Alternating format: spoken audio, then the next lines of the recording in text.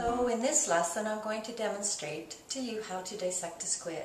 So before we get started, the materials that you require for this dissection are a freshly thawed or fresh squid, a knife or a razor blade, some paper toweling, a hand lens or magnifier, and you may want some toothpaste for after to take the smell of the squid off your hands. This is a kitchen dissection, which means that we are dissecting an animal that can be prepared after to eat. So it's very important to practice safe food techniques and that all to make sure that all of your materials and your hands have been previously cleaned. This lesson is for senior biology students studying invertebrates and the phylum is mollusks or the soft-bodied animals and the class is Cephalopoda. So come on in, we'll do the dissection. You will notice that the squid has a small tube sticking out of it. So see, I'll just put my finger in here to show you the tube. And it is relatively in between its eyes. This is called the funnel or the siphon. So what I want you to do is to place the squid flat on your work surface with that funnel side up. Okay. Now let's locate some key external parts. Here, I put this stick in here is the funnel or the siphon. There are two long tentacles, and these much longer tentacles shoot out to grab or capture the prey and pull it into the head.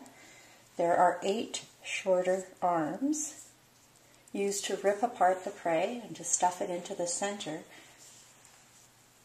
where the mouth is. We have two large eyes. As I said, the mouth area is in the center here. These are called fins,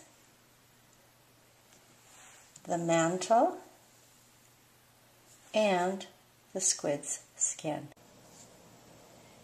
Notice that the squid has many, many suckers on the arms and fewer on the tentacles. There's just a few on the very tips of the tentacles. If we look more closely using the hand lens, we can see that the suckers are relatively different sizes and they are sticky and they grasp the prey firmly. If we went even closer in on this, we wouldn't see that they have a set of very fine teeth surrounding each of the sucker discs, and this also helps them to hold on to the prey.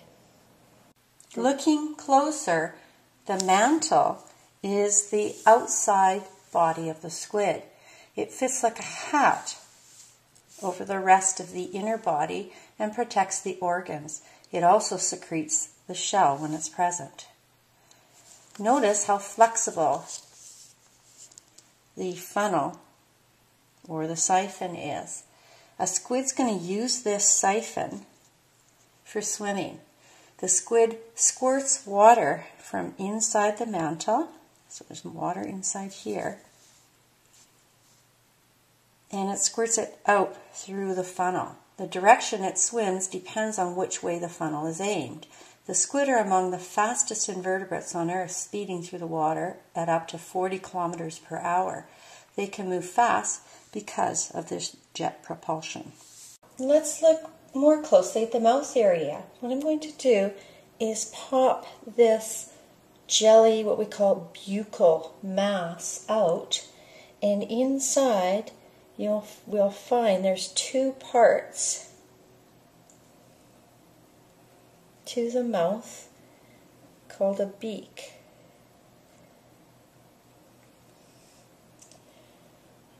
This is made up of the same stuff as human fingernails called keratin. If I can open and close the parts to the beak, I'd notice or I can imagine how the squid uses those strong parts to take a bite out of its prey. Inside here, there are also some structures, and they're called radula. is like a grate that helps to grate the food before it goes down the esophagus. That's what a rasp is. And squid are very successful predators, feeding on fish, shrimp, and other smaller animals like that. Now let's explore the eye. If I take, isolate one eyeball, uh, I can first of all notice there is no eyelid. A squid's going to control the amount of light that comes into their eye by opening and closing a slitted pupil. They focus on something by moving a hard, clear lens back and forth within the eye. Let's take a look at ins- inside that eyeball. So I'm just going to cut away at it. Oops.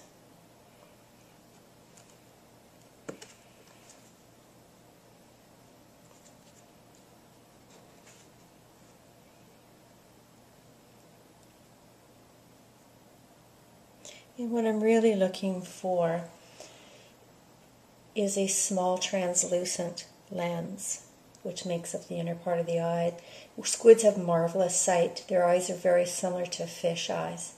And it has been reported that some squid can even see color.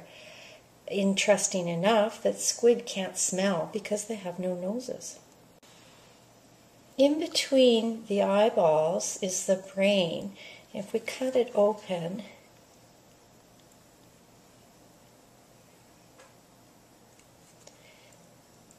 Notice there's a creamy white area. That's the brain. And it's going to be surrounded by a brain case that helps to make up part of the skeleton of the squid. And I'm sure you know that squid are extremely intelligent animals. Now, take a look at the fins. These act as rudders and they steer the squid where they want to go. The squid is a highly motile predator. Now I'll use my finger to lift open the mantle behind the funnel, separating the mantle from the internal organs. Picking up the mantle, flesh, I'm going to keep it tight and cut along what we call the ventral or the midline of the mantle.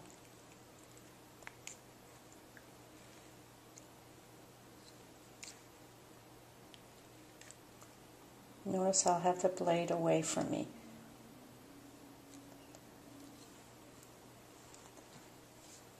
I need to make sure that everything's lifted away so that I don't cut the internal organs.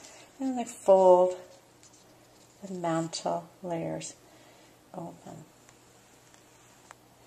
The first thing we should do is determine the sex of the squid. To have a female, I only need to look for a mass of eggs in the ovary towards the tail end of the squid. There's my mass of eggs. This is a female. For the, a male species, we need to look for an obvious male part. It looks like a small snail shell, and this part is called the seminal vesicle. So this is a male. Another noticeable feature between the males and the females is that generally the female is a much larger species than the male. The long feathery structures on both sides of the squid are specialty respiratory structures called gills. They are attached to the sides of the mantle and they extend along the anterior, what we call half of the mantle. This silvery black structure is the ink sac. It lies connected to a part called the intestine. The squid has a storage of ink and it shoots it out to cloud the water when it's in, in danger. The final thing I'm going to show you is a lightweight internal skeleton. This is called a pen. It's long and it's a clear structure like the inside of a pen, and it acts as a support beam so the squid doesn't flop and fold. You might be interested to know that a relative of the squid, the octopus, has no skeleton at all, and that the squid only has this thin pen compared to a nautilus, which has a thick outer shell. We can clean up our material by throwing away the guts or the visceral mass. So I'm going to keep the tentacles and the arms and make sure that the beak and brain are out of there. And I'm going to keep the mantle and the fins. All the rest of the visceral mass gets discarded. And what I recommend you do is rewash and dry these saved parts, then cut them into smaller bite-sized chunks, and follow a recipe for calamari. I hope that you found this online squid demonstration dissection useful. Thank you.